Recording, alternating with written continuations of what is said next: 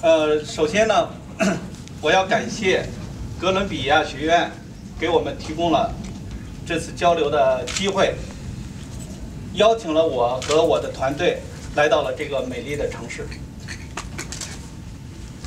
We really appreciate the opportunity given by the Columbia College of Chicago. 呃，今天晚上我们在这儿 举办的展览的主题是“介质的空间 Um, today's exhibition talks about the space of medium. We came here to do a project which name is Digital City.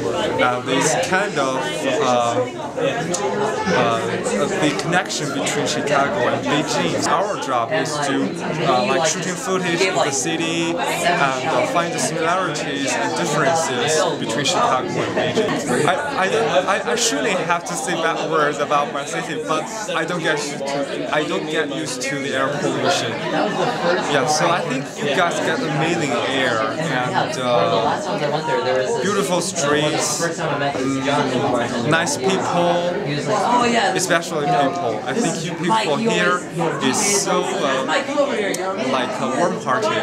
And You're you're like helping each other with each other. right now. So uh, that's impressed me a lot. 呃，虽然近来天气很冷，呃，经常还下着大雪，但是哥伦比亚 这个城市给我留下了非常美好的印象。 Ever since I arrived here, I fell in love with this city of its great modern civilization and the friendly people we met.